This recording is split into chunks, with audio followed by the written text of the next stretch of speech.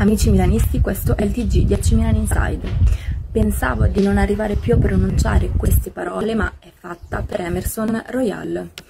L'accordo tra il Milan e il Tottenham si è concluso per una cifra di 15 milioni di euro più bonus. L'esterno destro brasiliano coprirà il vuoto lasciato da Florenzi, che ricordiamo essersi infortunato e che non rientrerà prima di diversi mesi.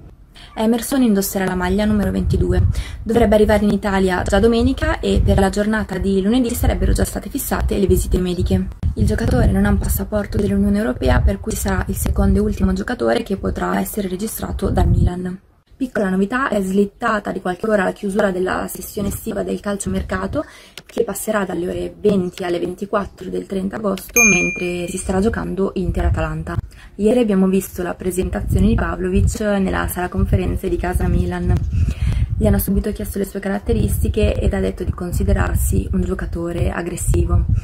Ehm, atteggiamento che possiamo dire essere stato anche di Stam, con il quale subito è partito il confronto. Una delle cose che li accomunano è il numero di maglia. Il serbo infatti ha scelto il 31 che già indossava al Salisburgo. Come ultima cosa, ma non per importanza, vi lascio qualche numero. 300 presenze con la maglia del Milan, 126 gol. Il giocatore italiano che ha segnato di più nelle competizioni UEFA può essere solo lui.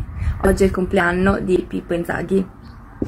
Come festeggiarlo potremmo citare le sue reti più belle nei commenti. Inizio io, perdonatemi se sarà scontato, ma parto con una data, 23 maggio 2007.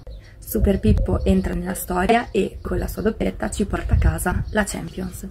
Tra parentesi, il video della sua esultanza è uno dei più belli di sempre. Sperando che questa puntata vi sia piaciuta, vi do l'appuntamento per domani.